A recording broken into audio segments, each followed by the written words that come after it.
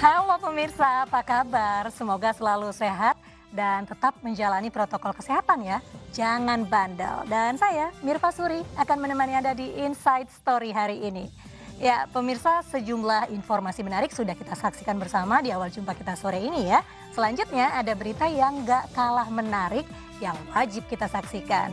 Nah pemirsa terjadi laga sengit dari Liga Prancis di mana bintang PSG Neymar yang baru aja sembuh dari COVID-19 diganjar kartu merah oleh wasit. Aduh belum apa-apa udah kartu merah aja nih. Selengkapnya usai jeda ya. Jangan ke mana-mana, Inside Story akan segera kembali.